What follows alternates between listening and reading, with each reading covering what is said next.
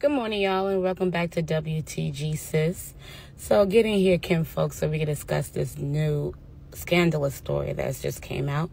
So, if you don't know who this actor is, that is Chris Noth, previously known as Mr. Big from Sex in the City.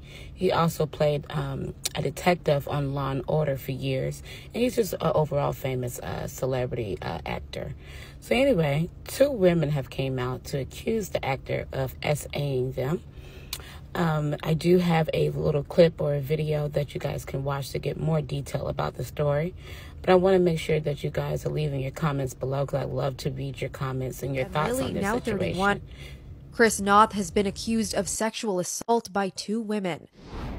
Zoe, now 40, and Lily, now 31, going by pseudonyms to protect their privacy. Both allege they were sexually assaulted by the Sex and the City actor in separate incidents that occurred in Los Angeles in 2004 and in New York in 2015. The two women who approached the Hollywood Reporter separately shared that it was the revival of the television series that triggered them to speak out. Contacted for comment, Noth sent THR a statement. The accusations against me made by individuals I met years, even decades ago, are categorically false. These stories could have been from 30 years ago or 30 days ago. No always means no. That is a line I did not cross. The encounters were consensual. It's difficult not to question the timing of these stories coming out. I don't know for certain why they are surfacing now, but I do know this I did not assault these women.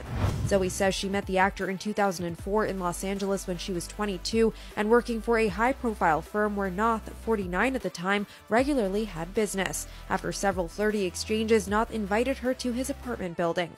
After a series of events at his residence, Zoe says he kissed her, and then, according to the woman, he pulled her toward him and began to rape her from behind.